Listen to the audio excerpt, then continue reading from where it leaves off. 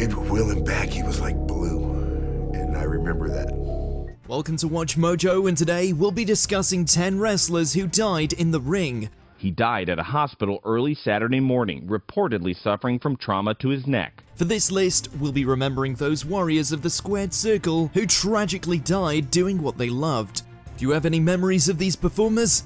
Let us know in the comments below.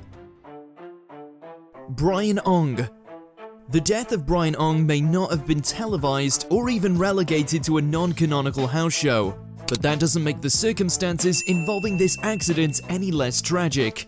Ong was actually in a training session together with WWE's The Great Khali, aka Dalip Singh Rana, and was already suffering from a concussion.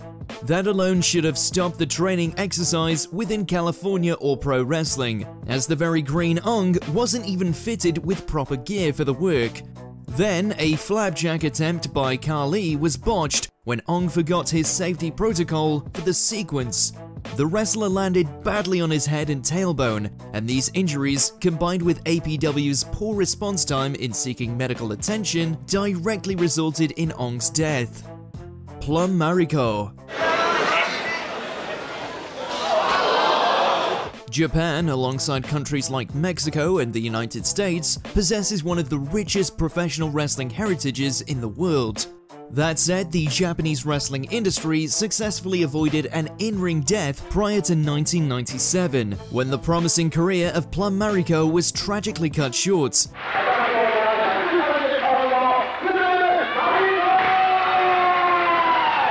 Mariko was talented, but she was also accident prone, and her injuries directly led to the athlete developing an abscess in her brain. Mariko ignored physicians' warnings about her concussions, and she continued to wrestle. Then at a wrestling show in Hiroshima, Mariko took a Liger bomb from her opponent, Mayumi Ozaki. She passed out as a result of the move, with officials claiming that the abscesses in her brain opened up, eventually leading to her death. Jeanette Wolfe Janet Boyer Wolfe competed professionally under the alias of Jeanette Wolfe during the formative age of women's professional wrestling. She came from industry royalty as the foster daughter of legend Mildred Burke and worked matches alongside icon Mae Young. Unfortunately, we'll never know exactly how exalted Wolfe's career could have been, thanks to a horrible 1951 in-ring occurrence.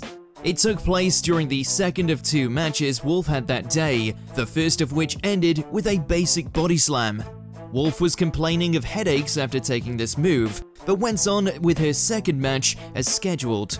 She collapsed on the ring apron during this match and never woke up, suffering a fatal brain hemorrhage minutes into the contest. She was 18.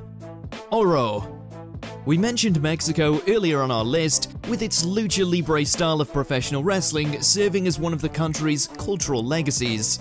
Oro performed as a luchador in this style, as a masked wrestler with an impressive arsenal of aerial maneuvers.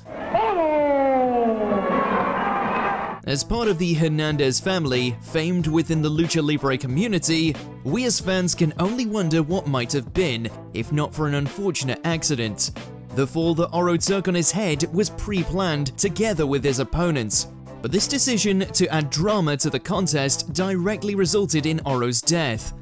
The fall reportedly triggered a brain aneurysm and Oro never made it into a hospital ambulance. He was only 21 years old. Gary Albright He was the unsung hero of the legendary Anoa'i wrestling family the bloodline that's produced such stars as Roman Reigns, The Usos, and Dwayne The Rock Johnson. Get it! Over Albright married into the family with his wife Monica, and he enjoyed a distinguished career as the rough and ready master of the suplex in promotions such as All Japan and Stampede Pro Wrestling. Albright was performing as usual for the company World Extreme Wrestling on January 7, 2000, when a bulldog maneuver by his opponent left Albright unconscious in the ring. Gary had suffered a heart attack in the ring, partially as a result of his diabetes and poor coronary history. A tribute show would later be held in his honor. Very special man, Gary Albright, who was a friend and a family member, and uh, he's going to be dearly missed. Moondog Spot For wrestling fans of a certain generation, a tag team known as the Moondogs will always be remembered for their wild and unpredictable antics.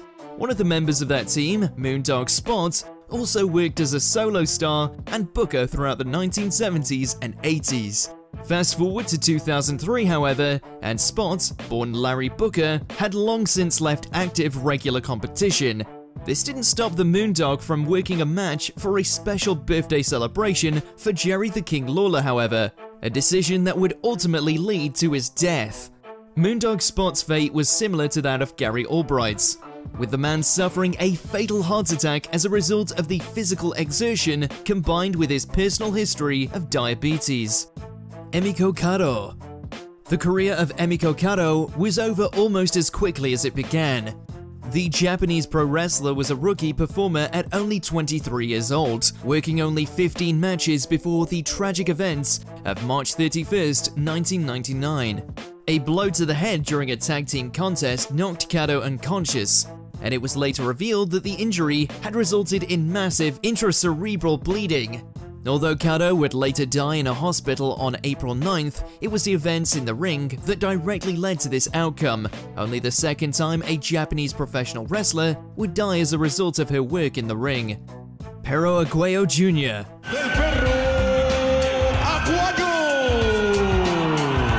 The life and legacy of Perro Aguayo Jr., born Pedro Ramirez, may not be as comparatively well known outside of Mexican wrestling circles, but the circumstances surrounding his death made headline news back in 2015. Officials in Tijuana, Mexico want to know why a pro wrestler died after a match. This was due to the performer standing across the ring from Aguayo, the WWE's own Rey Mysterio Jr.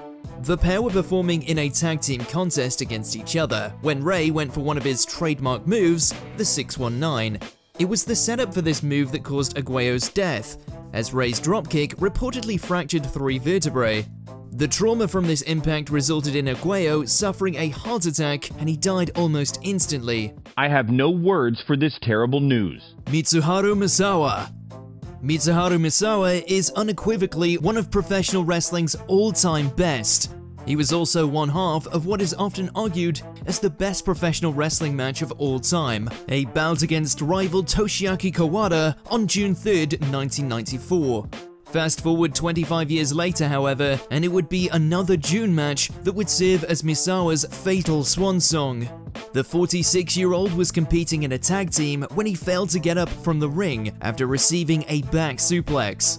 Although no official cause of death was released, it was thought that the impact from the move resulted in severe cervical damage. This was echoed in a statement by Hiroshima police in the aftermath of Misawa's tragic passing. Before we continue, be sure to subscribe to our channel and ring the bell to get notified about our latest videos. You have the option to be notified for occasional videos or all of them. If you're on your phone, make sure to go into your settings and switch on notifications. Owen Hart. Owen changes into his blue blazer costume, and the rigging crew readies him for his descent. The memory of the life and career of Owen Hart still burns brightly within the hearts of all his fans.